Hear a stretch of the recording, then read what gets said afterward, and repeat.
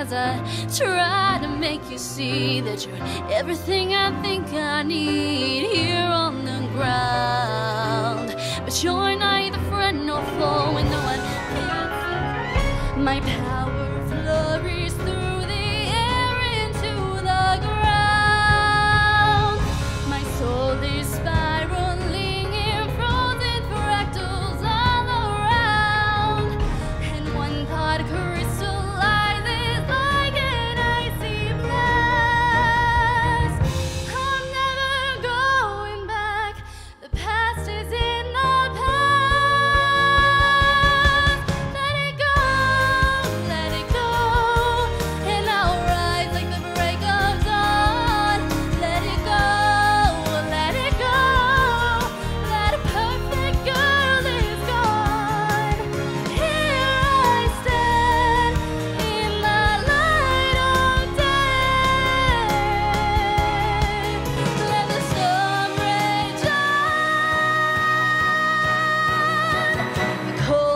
bothered me anyway.